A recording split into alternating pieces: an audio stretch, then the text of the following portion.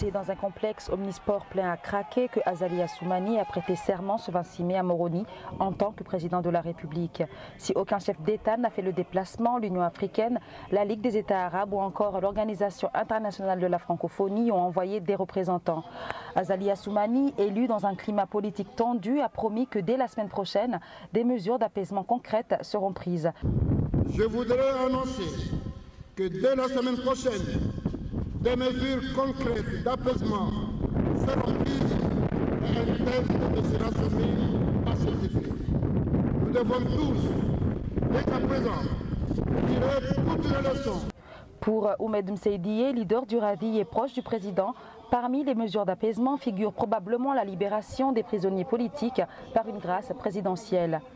Il s'est montré très disposé à prendre des mesures d'apaisement pour que, ensemble, nous abordons cette nouvelle ère qui devrait mener les Comores vers l'émergence en 2030.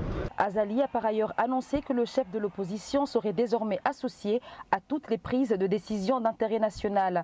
Les déclarations du président comorien constituent peut-être une main tendue à une opposition qui refuse toujours de reconnaître son élection.